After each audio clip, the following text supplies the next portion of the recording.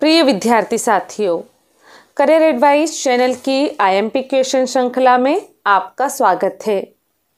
इस वीडियो में बीकॉम प्रथम वर्ष के माइनर विषय, व्यावसायिक संगठन एवं संचार के चौदह महत्वपूर्ण प्रश्न दिए जा रहे हैं।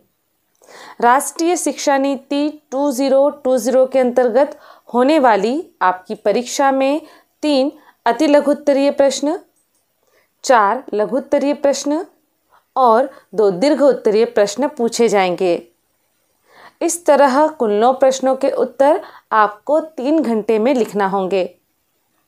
यहाँ दिए जा रहे चौदह महत्वपूर्ण प्रश्नों के आप दीर्घ उत्तरीय नोट से तैयार कर लीजिए।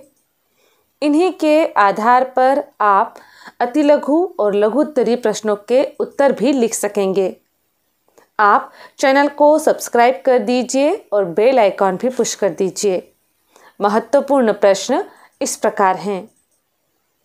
प्रश्न एक, व्यावसायिक संगठन की अवधारणा, विशेषताएँ और उद्देश्य बताइए। प्रश्न दो, व्यापार, व्यवसाय, उद्योग और वाणिज्य से आप क्या समझते हैं? इनमें क्या अंतर है? व्यवसाय के सामाजिक दायित्व क्या है? प्रश्न तीन, व्यवसाय में नवप्रवर्तन की अवधारणा क्या है और इसका क्या महत्व है? प्रश्न चार, व्यावसायिक संगठन के विभिन्न प्रकारों की जानकारी देते हुए बताइए कि उपयुक्त व्यावसायिक संगठन के चयन के तत्व कौन कौन से हैं? प्रश्न पाँच एकाकी व्यापार से आप क्या समझते हैं? इसे परिभाषित कीजिए और इसकी विशेषताएँ तथा गुण दोष बताइए। प्रश्न छह। साझेदारी से आप क्या समझते हैं?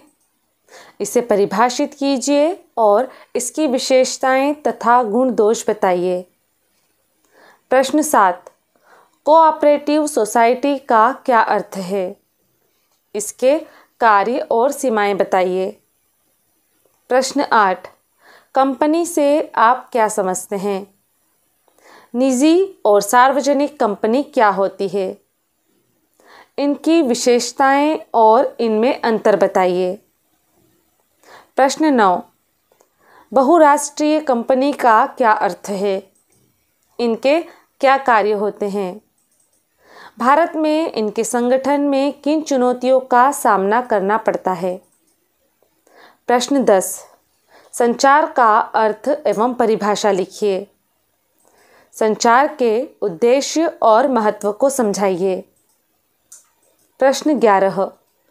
संचार के प्रमुख सिद्धांतों जैसे जानकारी का सिद्धांत इंटरेक्शन का सिद्धांत ट्रांजैक्शन का सिद्धांत को समझाइए। प्रश्न बारह, संचार की प्रक्रिया क्या है? सफल संचार के क्या तत्व हैं? प्रभावी संचार के मार्ग में कौन सी बाधाएँ आती है? तथा उन बाधाओं का समाधान कैसे किया जा सकता है? प्रश्न तेरह, लिखित और मौखिक संचार से क्या आशय है? इनके क्या साधन हैं? तथा इनमें क्या अंतर है? प्रश्न चौदह, निम्नांकित पर टिप्पणी लिखिए। अ, रिपोर्ट लेखन और रिपोर्ट के प्रकार।